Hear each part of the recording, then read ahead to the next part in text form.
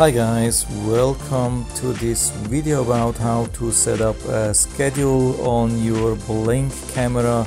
That could be Blink XT1, XT2 or the old XT. I mean, that's the XT1. Uh, yeah, XT1, XT2, whatever. Um, so, why would you do that? Uh, this is mainly to prevent false alerts so if you're working from home during the day or children are at home or whatever, so yeah, when anybody is at home and it would trigger false alerts, you don't want that. So you enter a time for that. And also if you have times when a lot of false alerts are triggered by other uh, reasons, let's say during the day you have uh, this area is affected by sun and uh, shade from leaves and so on. And this can trigger a lot of false alerts. So how to prevent that? We click on Blink XT1 here. I mean, basically in the top middle. And then we have uh, scheduling. We click on that and we have uh, when, when we have an old schedule and we want to get rid of that, we click on the uh, trash bin icon. So it's empty anyway. We can uh, start from scratch. We, uh, we start with the plus sign on the right top and we say we, we choose either to arm first or disarm. We start with arm makes sense and we want to start arming in the afternoon or evening and we pull the uh, watch to close to 8 o'clock, a little bit, yeah, quarter to 8, and we want to arm it every day, and then we click on save on the right top. So as you can see, it's armed now for every day, but it's still 24-7 because we don't have a stop.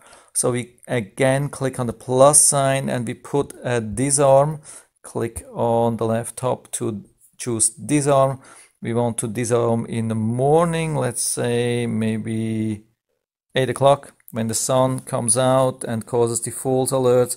And of course we want to disarm it also every day. Click on save and as you can see there's now a gap between 8 o'clock in the morning and 8 o'clock in the evening where it eh, where it won't trigger any alerts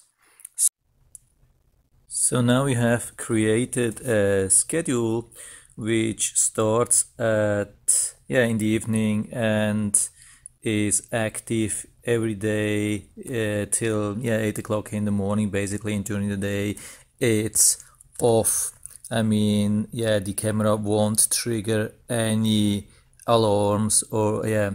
So the question is what can you do uh, if you want to change that? I mean you can delete. You can click on this delete icon and delete everything and start from scratch. Uh, but there are easier ways. Unfortunately we cannot just pull on these triggers up and move them up and down. As you can see there's no way to do anything with that but you can click on them.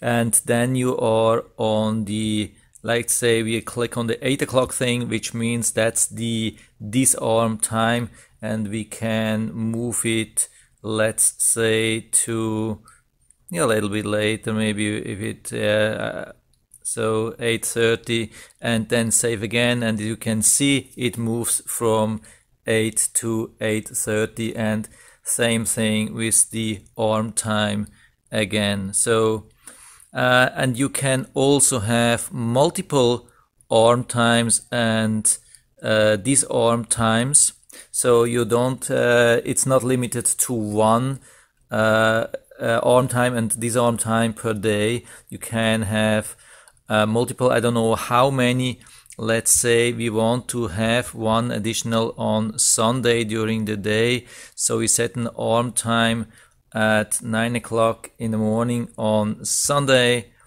And as you can see we have to of course we have to put a disarm time let's say in the afternoon. These are 3 p.m. also Sunday. We click on save and you can see there's uh yeah it, I mean that's a little bit bad. Uh I have yeah so that looks a little bit better probably. Uh, as you can see you can have more than one. You can also have different times for every day and so on. So it's quite flexible. So there are actually two trash bin icons or delete icons. When we use the one on this schedule weekly schedule overview it will delete everything. When we click on yes it will delete everything. But we can just delete a single uh, arm or disarm. So but we have to click on one first let's say we click on the one here in the afternoon on Sunday we delete that.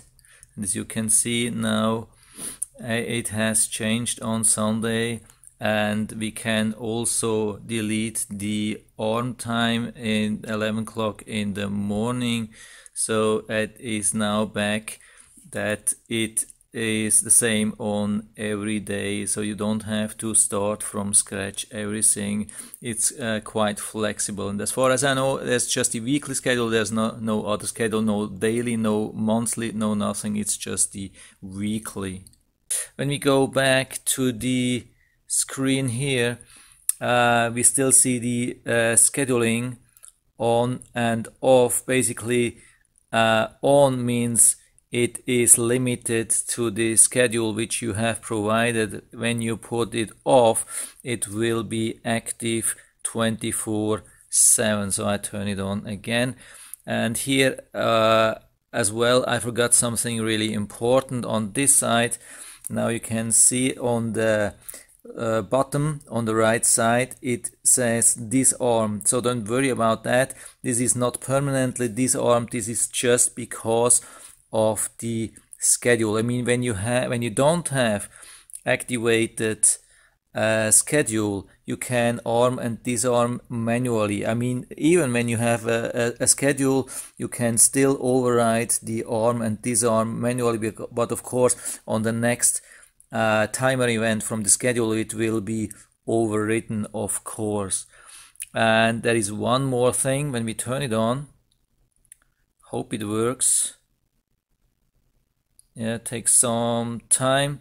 Yeah then I hope you noticed uh, on the right top corner there's uh, like a person running and that also means like arm or disarm. This uh, it is called motion detection but it's the, basically it's armed or disarmed. But what's the difference? On the right button uh, this trigger means uh, it is the whole system. And the thing on the right top it is for every camera. Unfortunately I just have one camera here. Um, so basically you can have the system armed on the bottom right but you can disable motion alert for one camera which I do now. As you can see uh, now it's grayed out so that means actually the whole system is turned on but there's no motion detection on this one camera which does of course doesn't make sense because I just have one camera but it's just uh, to know if you have more than one camera. I hope I was able to help you a little bit with that. If you have any questions or comments just write to the comment section below and always happy to talk about these things and if you like the video give me a thumbs up, subscribe my channel, thanks for watching and See you next time.